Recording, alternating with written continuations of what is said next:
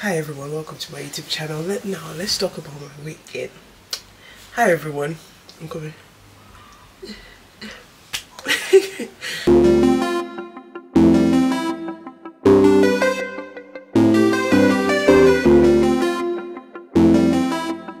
everyone, welcome to my YouTube channel and today we're talking about my weight gain.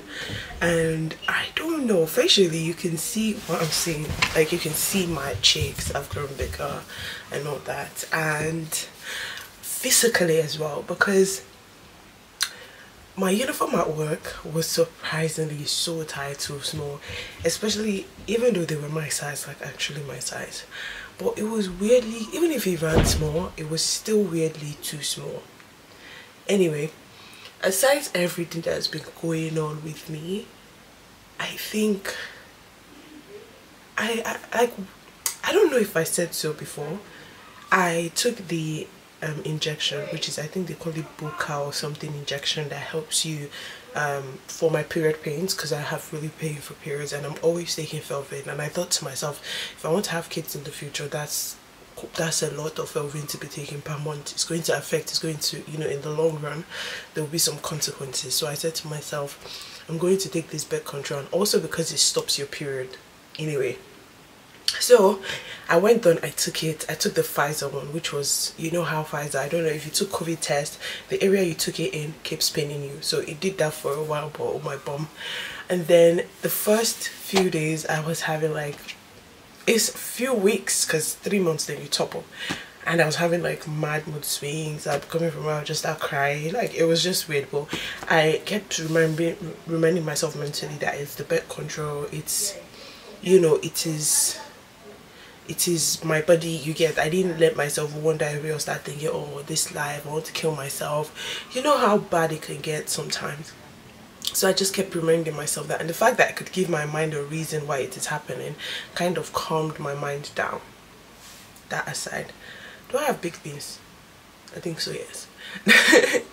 That aside I also had to go through like um, I didn't notice the body change in Sheffield and I don't even think there was one in Sheffield because you know my job then was about like walking up and down the train. So I think that kind of helps I don't know, maybe that kind of kept me skinny or whatever, I don't know. But I think my clothes in Sheffield ran small, but I thought maybe it's the washing machine, maybe they shrank or something, which I think they actually did. That's my uniforms, I think they shrank. And then coming here to London, I don't really do much. I just stand in one spot sometimes at work, and it's not even like, if I calculate 30 times I stand, it's not even up to 4 hours that I stand. And, you know, I I'm gonna say this job I currently do is not as stressful, which is weird. Even though my friend said, oh, because my friend had done something similar, she was like, no way, that she's never doing this job again. It is not as stressful as my other job.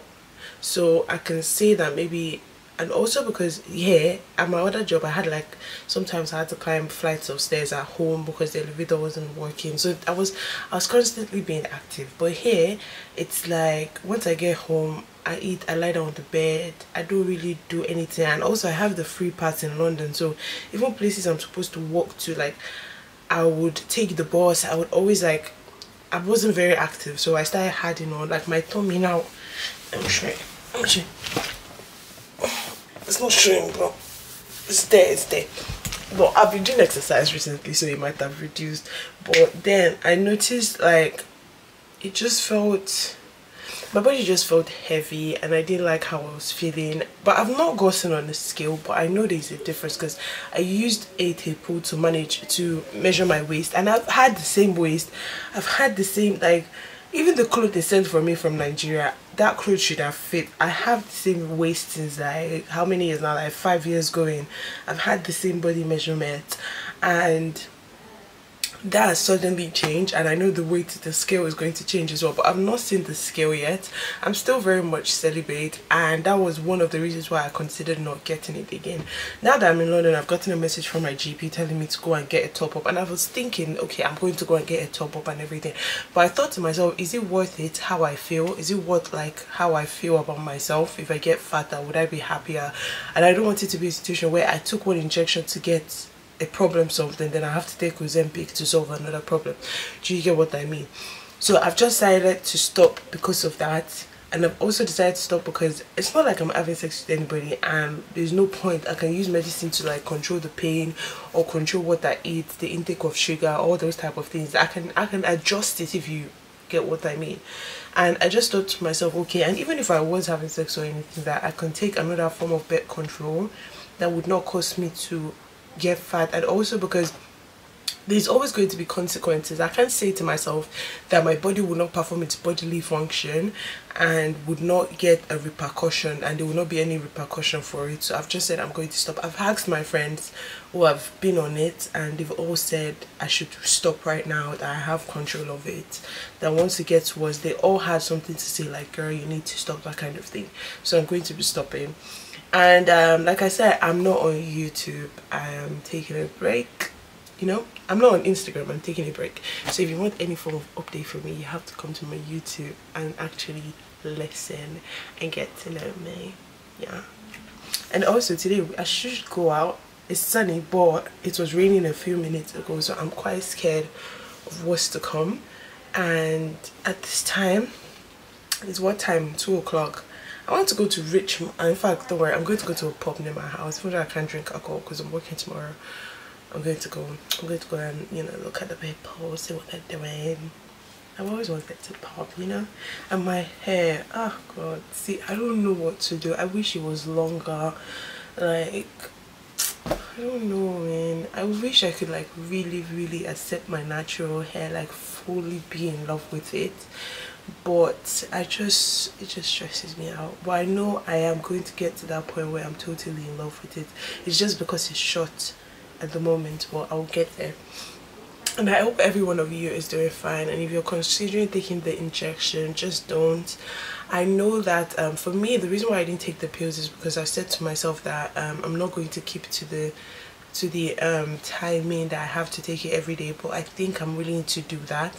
And also or I will take the IUD but I know it's very painful and I don't know or the coil I don't know.